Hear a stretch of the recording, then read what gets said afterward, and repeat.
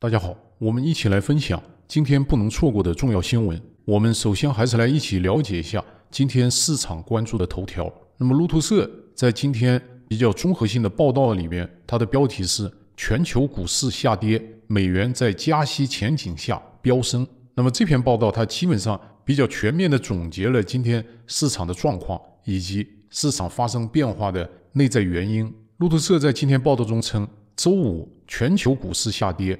美元跃升至六周高点，因为就业数据恢复了美国央行将坚持其货币紧缩道路的预期。来自美国劳工部的数据，一月份的月度生产者价格加速了，这个是我们昨天分享过的 PPI。上周提交失业救济金新申请的美国人数量出人意料的也下降了，这些数据给全球带来了恐慌。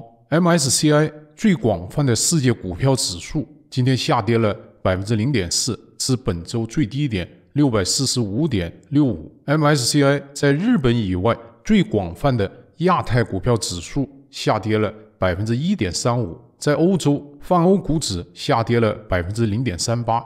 德国的股市、法国股市、英国股市今天都有不同程度的下跌。今天美国的股市也是一种承压的状态。那么路透社在报道当中。他注意到一个现象，由于最近呢，美国宏观经济数据一再爆表，几乎在过去的一周内公布的数据都超了预期。那么在这种情况下，交易员压住美联储未来十二月会降息的这种比例就大幅度减少了。那么有的网友会讲呢，为什么要费力去猜美联储什么时候停止加息，什么时候减息？那么作为普通的围观者或者对宏观经济，一般关注程度的网友呢，你可能觉得这是一个庸人自扰的问题，但是对于市场投资者来讲，这个可是他们的事业，是他们投资的风险。因为很多资本呢是在货币市场、期货市场，那么你如果在货币市场、在期货市场，你就会与美联储加息或者减息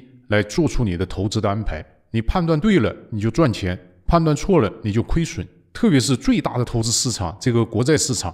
它与这个美联储的峰值的利率，就加息加到什么程度是密切相关的。就国债的收益率与美国的基准利率之间，它是一种联动的关系的。所以说，你不能够回避美联储未来加息的可能性，而且你也不能够等它加息以后你再做投资决定。当然了，普通网友你可以等等它这个鸡蛋呢掉下来，鞋子掉下来，你再做投资决策。但是对于全球宏大的资本市场投资者而言，他不可能等这个答案的，你等这个答案，可能钱都被别人赚走了。所以说，美联储未来加息的目标，特别是这一轮加息的峰值究竟有多高，的确让市场的投资者寝食不安，特别是一些大的投行。所以这么解释呢，可能普通的网友可能才会理解为什么每天对这个美联储要不要加息、加多少，为什么念念叨叨，它这个确实是影响很大。那么美联储的官员这两天也在趁机威胁市场。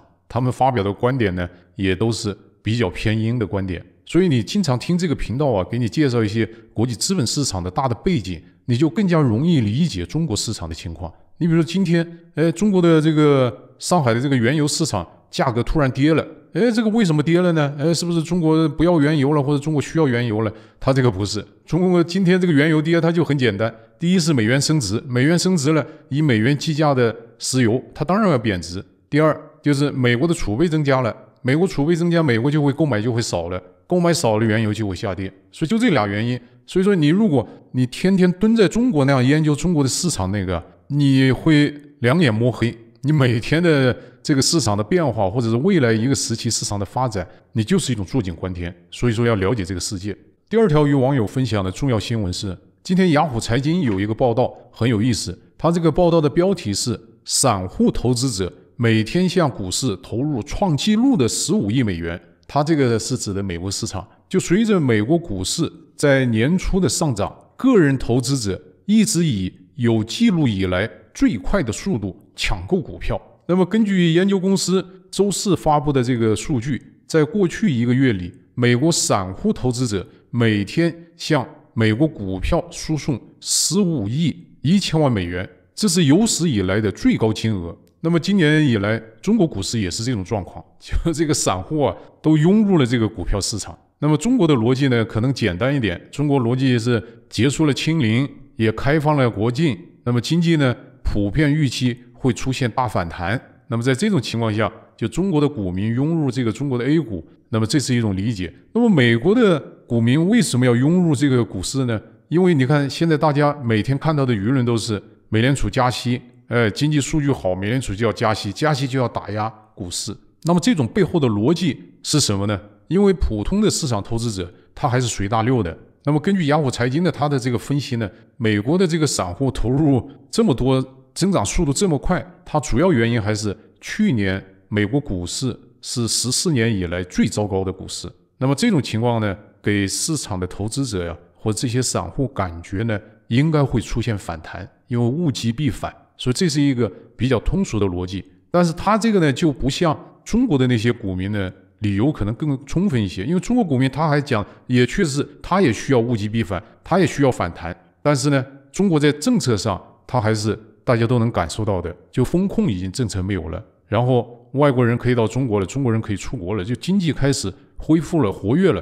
但是美国没有这么大的变化，那么投资者们呢，他仅仅是从这样一种去年的股市太糟糕，那么今年它应该会比去年好。所以抱着这样一种啊原始的判断投身这个股海，这是一个方面原因。第二个方面原因呢，是有一些股票呢确实有些超卖，比如说特斯拉。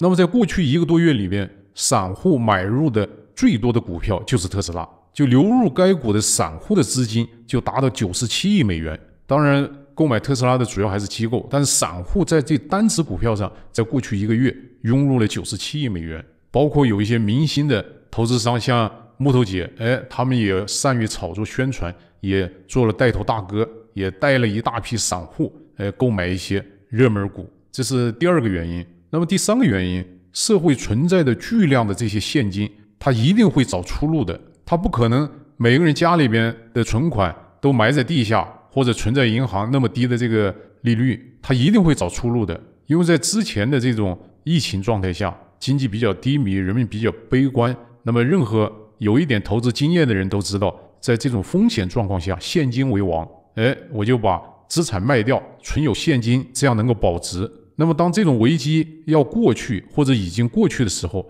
那么这些资本又又会回到市场里边来。所以，这也是美国的散户涌入股市的重要的原因。但是，LT 认为呢，看了这个新闻呢之后呢，这个还是有一些条件反射。你就像中国的股民涌入这个股市一样。就任何时候，一旦股民蜂拥至股市的时候呢，可能就意味着要出大事儿。当然，会不会出现以往的那样一种悲剧，我们还是可以谨慎的来观察。第三条与网友分享的重要新闻是，今天《英国时报》它有一个很重要的报道，标题是“美国国防部的副助理部长切斯将访问台湾”，台湾方面没有否认。那么，《金融时报》今天报道称。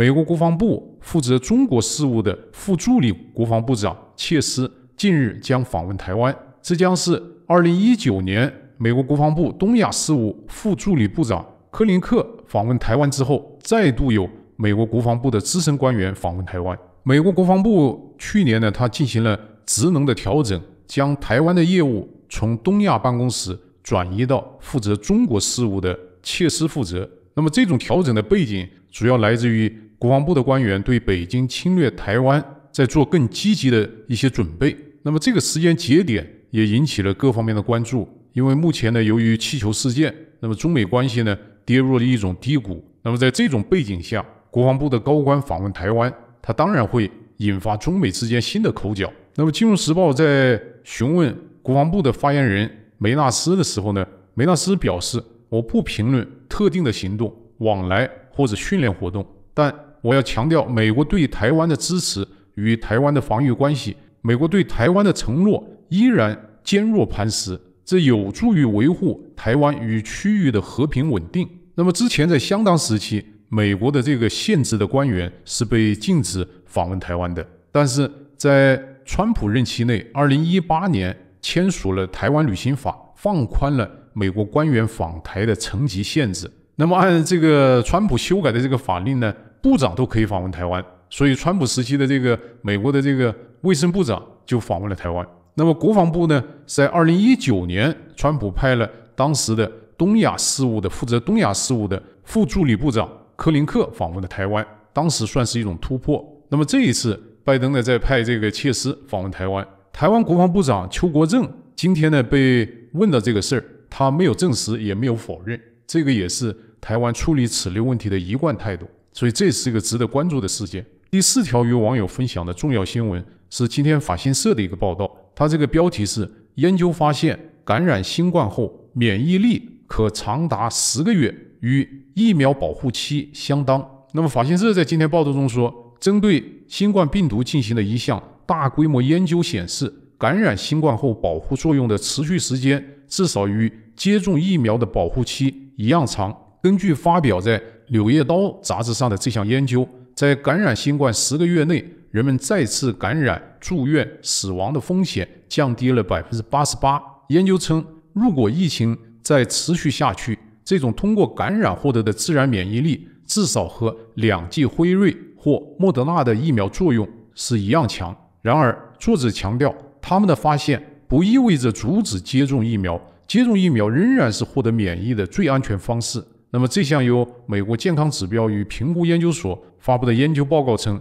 这对不同形式免疫保护持续时间最全面的分析。研究人员回顾了2022年9月来自19个国家65项研究，这意味着其中一些研究涵盖了奥密克戎席卷全球的阶段。奥密克戎被证明比以前的毒株更具有传染性，但没有那么严重。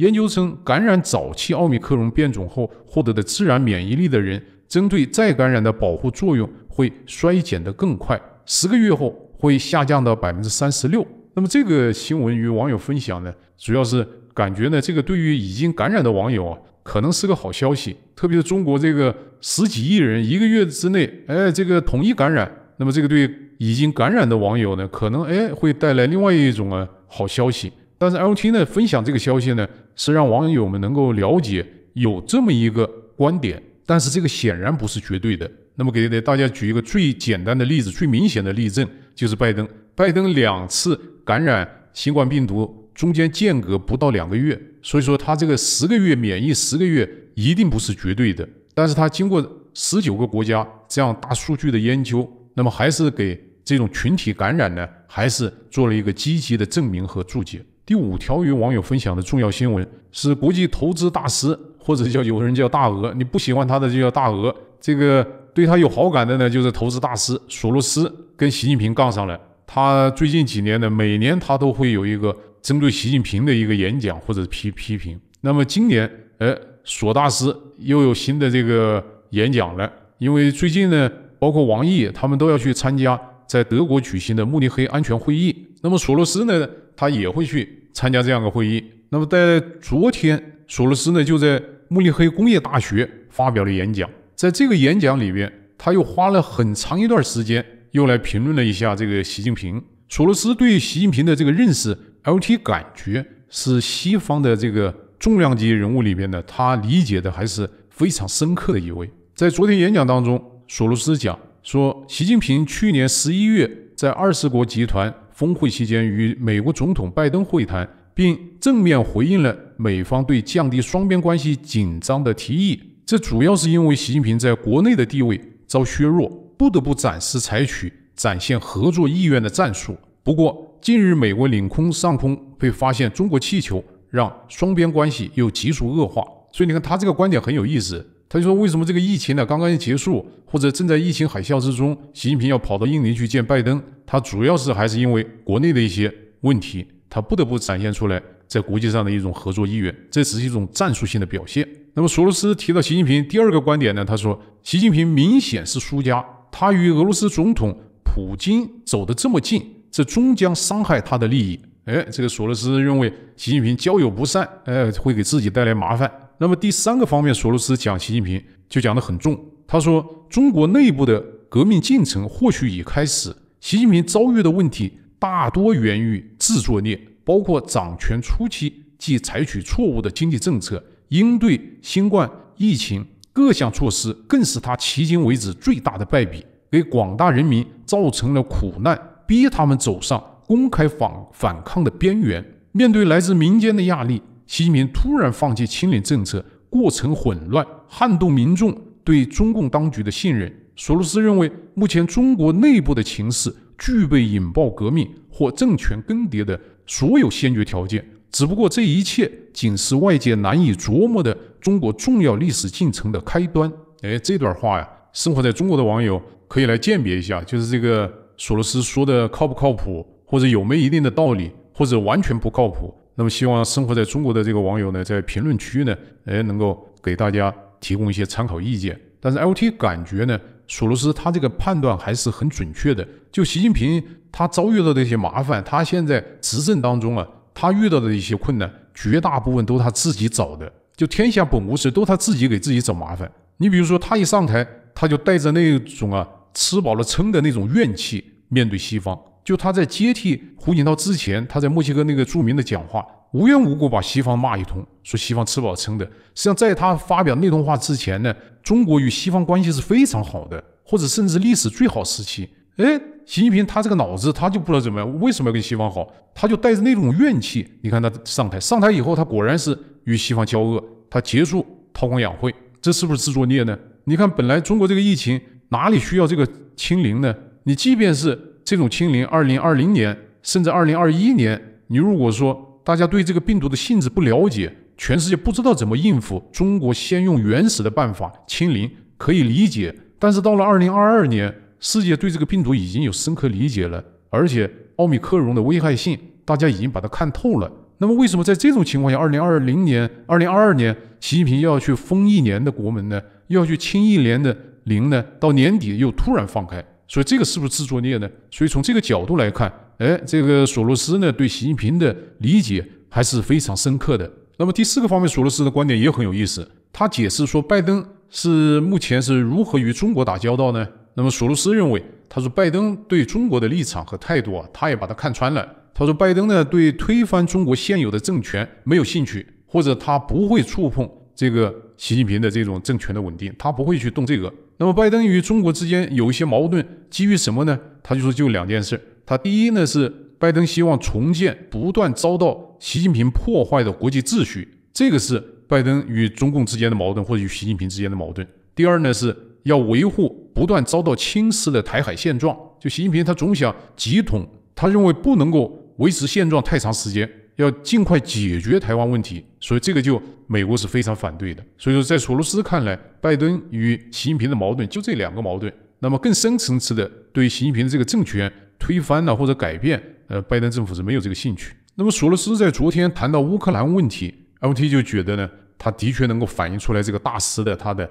政治敏锐性，或者他的这样一种眼光还是非常毒辣的。他谈到乌克兰问题，他提到一个什么呢？他说。有鉴于美国来自共和党的反对声音，美方再度向乌克兰提供大型金援的援助方案可能难以为继了。那么，乌克兰的武装部队因此只有今年春天这一短暂的机遇之窗可以利用，以发动决定性的反攻。哎，你看这个索大师啊，他这个他把美国这张纸捅破了，这就是一个现实。就不管网友们怎么看这个问题，因为共和党控制了美国众议院以后。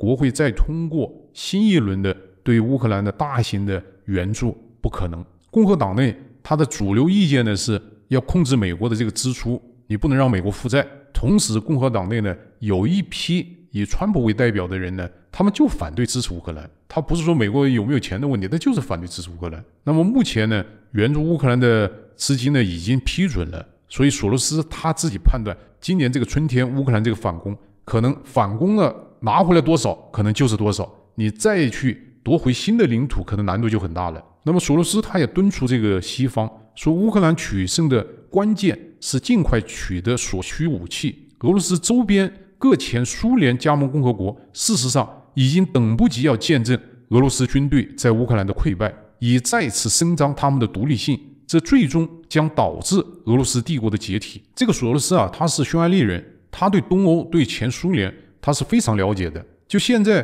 包括中国网友很熟悉的这个哈萨克斯坦，这些前苏联加盟共和国都在围观俄罗斯侵略乌克兰。但是他们多数呢，还是希望普京败，因为普京越失败，俄罗斯越失败，那么他们的独立性呢就能够得到稳定。假如没有乌克兰这个事儿啊，普京也会动对这个什么哈萨克斯坦呐、吉尔吉斯坦呢也会对这些国家下手的。所以索罗斯他也看到俄罗斯是不得人心的，西方要利用这样一个关键的历史时间来击垮俄罗斯。所以通过我们以上这些分析啊，大家还是能够感受到，就九十二岁的索罗斯，他对当今世界的这样一些变化，甚至包括新近发生的气球事件，他都有一些他自己独到的理解和独到的判断。第六条与网友分享的重要新闻，哎，这个老年代啊，这个之前与网友分享过，就是广西南宁的这个售房优惠政策，房贷年龄呢可以延长到八十岁。那么这件事儿在中国继续发酵，而且愈演愈烈。北京呢，现在中国的官方记者调查，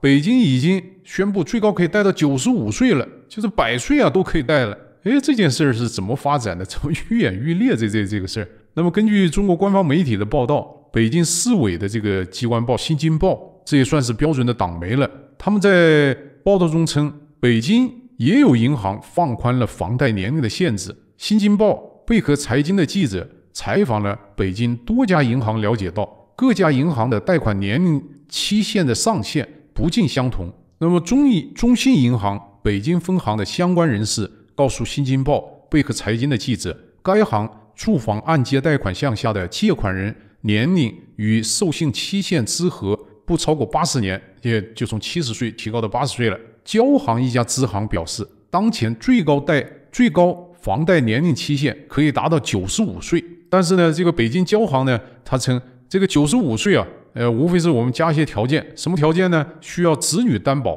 而且借款人的退休金，这老头老太太啊，你的退休金和担保人的月收入可以覆盖月供二倍。这什么意思呢？你比如你老头老太太贷款，每个月还贷要一万块钱，那么你的退休金和你担保人的月收入加一起，要是你每个月还款的二倍，哎，那么你就可以贷。而且担保人呢，还只能是子女来担保，就是捆绑家庭捆绑。那么这种形式呢，在中国民间呢，被称为这种家庭接力贷，就是老子死了，儿子还钱。那么对于这么一个新闻事件愈演愈烈的这样一个新闻事件，LT 想做四个方面的评论，就首先第一，就中共现在为了 GDP，为了它赖以生存的这种土地财政，对房产的促销不择手段。现在一百岁都能贷款，这这件事儿是很奇特的事儿。但是在中国呢，它就是一个愈演愈烈的这个热门事件，在整个中国围观，这把大火从广西南宁一直烧到了北京，所以你能够反映出来，就中共为了卖房子有多么心急。第二个评论呢是。现代社会、现代法律体系下，就家庭的财产边界越来越清晰，就老子是老子，儿子是儿子，甚至夫妻之间的财产都有些界限。比如说，有些年轻人婚前财产公证。那么现在中共为了推销这个房子，哎，他就让你捆绑家庭，捆绑家庭接力。那么这个就会带来很大的风险，因为家庭呢，现代的家庭跟过去不一样。你比如说，现在现代社会这个离婚率比过去要高得多得多。你老头刚刚贷个款。子女贷、接力贷，假如说子女离婚了怎么办？这个老头这个公的房子啊，还有离婚了的儿媳或者离婚了的女婿还要去分分担，既会分担债务，也会分担财产。所以你看这个弄得多复杂，这这这个，所以它与现代社会的这样一种财产边界清晰的潮流是相违背的。这种大家庭的捆绑啊，是不符合潮流的。它只是中共为了推销房子、快卖房子，哎，它。进行的一种反潮流的一种鼓动。第三个评论呢，LT 认为这种家庭债务的接力贷啊，它实际上是另外一种意义的连坐，就是债务连坐。就中国历代的统治社会，他为了社会稳定，为了管制这些民众，他非常热衷于这种连坐。一个人犯事儿影响三代，这个可能在防疫当中啊，中国共产党又向中国人民做了这种教育。哎，上海的年轻人反抗是最后一代，那么北京的这个。街道干部呢？哎，威胁，哎，他的软肋是儿子。那么这样一种啊，接力带、家庭接力带，子女为九十五岁担保，它实际上它就是一种啊债务的连坐。你跑了老头还有儿子，所以这个也不是一种现代文明的一种经济制度或者政治制度，它还是沿袭了中共或者中国历代统治者的那样一种连坐的手段。第四个评论呢，LT 觉得这种鼓励老年人贷房。这个还是有点阴坏阴坏的。那么客观上，对于老年人来讲呢，风险也会非常大的。因为这个老年人呢，他就怕生病，一生病那点退休工资，按照现在的这个医保政策，你病不了两天你的钱就会没了没了的，你哪里还有钱什么还贷啊？对普通工薪阶层而言，本来现代社会的财产制度，个人都是有限责任的。就我这个人，我再破产再困难，经济再困难，我最多我会申请我的个人破产。那么你搞这种老人贷这样一种连带责任之后呢？你破产你都破不了，你破产了还有你儿子，呃，还有你媳妇，还有什么一大堆人，说这个老年人贷款呢，会给自己带来很大的风险，也会给整个家庭带来很大风险。没有哪个国家会鼓励这种老人贷的，但是中国共产党就这么邪恶，所以家里有老人的这个网友啊，可不要去凑这个热闹。最后再与网友分享一个重大事件、突发事件，这个呢，在今天国际主流财经媒体都做了报道，大家应该能够感受到这件事的影响远远超出在中国的影响。就中国最成功的投行创始人之一，华兴资本的这个创始人包凡失踪了，或者用中国媒体话讲叫失联了。这个华兴资本的创始人，他的核心的高管已经先后的失联。那么媒体认为是被有关部门带走，但是被谁带走也没有人知道。因为华兴资本呢是在香港的上市公司，这老板不见了，股民投资者就要问。那么依据法律来讲，香港的法律来讲。你公司你必须报告，所以说二月十六号晚间，华兴资本他不得不发出公告。他这个公告也很有意思，公告称公司董事会并不知悉任何资料显示包凡失去联络一事或可能与该集团的业务或运作有关。华兴资本目前业务及运营维持正常，执行委员会将负责该公司的日常管理和运作，并将在适当的时候做出进一步的公布。所以你看，从这个上市公司来讲，他们在公告当中就宣称，他们也不知道这个包凡去哪儿了，也不知道包凡失联失踪是不是与公司业务有关。所以他这个公告就很有意思，他这个公告就是说是丢人了，呃，人失踪了，但是也没有表明说要找，也没有说寻人启事，就是告诉社会、告诉股民，哎，我们老板不见了。这种这种公告、这种新闻，你看着还是让人挺瘆的。那么与包凡呢？联系平时联系、现实生活联系比较密切的一些香港市场人士也证实，最近几天呢，确实没有办法与包凡取得联系，手机关机，家里人也不知道去哪儿了，公司也不知道他去哪儿了。那么这件事儿，今天呢，在国际的主流财经媒体都在头版头条都做了报道，因为包凡他这个他不是个一般的人，他可能是在中国最成功的这样一种啊投资家之一。我们可以简单介绍一下包凡的背景。当然，熟悉投资、熟悉中国财经的网友可能都很清楚。那么，我们也想让更多的网友来了解这个包凡是一个什么样的人。包凡呢，他曾经先后在华尔街的大投行大摩摩根斯坦利和瑞士的这个第一大投行瑞士信贷工作过。他在华尔街这个两个大的投行工作了七年，他帮助数家领先的跨国企业进行资金的募集、银行借贷、兼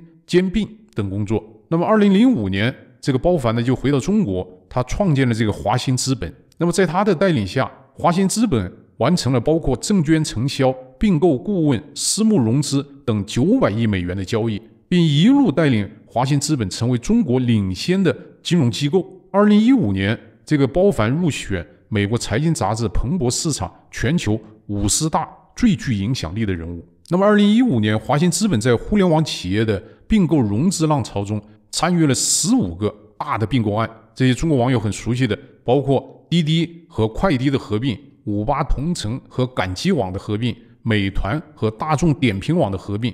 那么华兴资本还是早期的贝壳的重要投资方，他也领投了这个北京的这个链家，就是贝壳前身。二零一八年的九月二十七号，华兴资本正式在香港交易所主板挂牌交易。那么最近在中国比较热的一些电动车啊，包括像理想、蔚来。这个都有华兴的大量投资，像目前的这个比较新兴的这种电商得物也有华兴的投资。就如果这些中国的这些投行啊，大的资本投资人呢，最像华尔街投行的，LT 个人认为呢，他这个华兴资本的运作方式是最像华尔街投行的，也是中国最早一批本土兴起来的这种投资银行。那么第三个方面与网友网友交流的这个信息，就是这个包凡失踪的这个事儿。